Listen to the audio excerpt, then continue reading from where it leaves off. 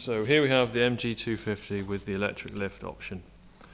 It's a simple option which just allows you to control the height and the, grading depth of the MG250 um, with an electric actuator rather than a manual lever which is standard.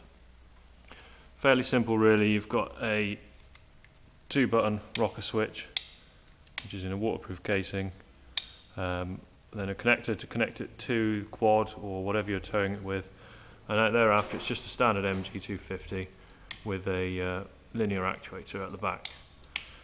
This allows you to adjust the height of the grader on the fly, uh, raise and lower from the working and transport positions from the seat of the quad or towing vehicle um, nice and easily. You can also adjust it as you're moving along, uh, allowing you to grade the surface more evenly and feather any high or low spots in or out of the surface.